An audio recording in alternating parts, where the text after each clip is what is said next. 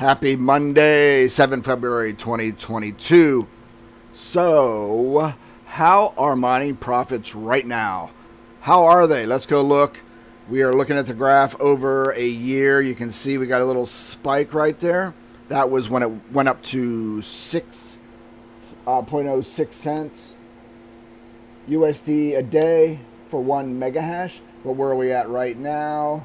Dun, dun, dun, dun, dun. We are at 0.0442.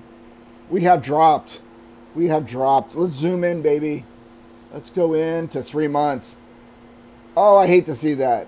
We had a nice little spike there for maybe a day. A bunch of blocks came out.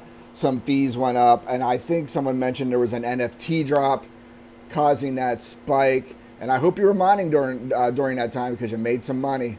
But now we're back down, guys. Back to the norm. All right, there's your update.